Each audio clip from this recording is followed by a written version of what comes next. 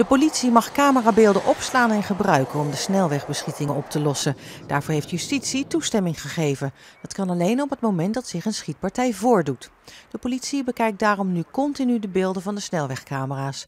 Er zijn de afgelopen maand tientallen meldingen geweest van automobilisten die vooral rond Rotterdam werden beschoten.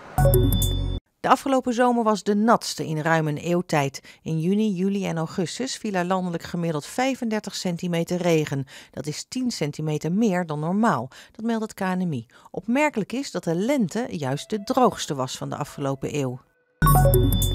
De dode man die eind juli werd gevonden aan de Polderweg in Schiedam is een 35-jarige Pol. Dit weekend kreeg het team informatie die helderheid kon verschaffen over de identiteit van het slachtoffer. De politie heeft inmiddels contact opgenomen met de nabestaanden.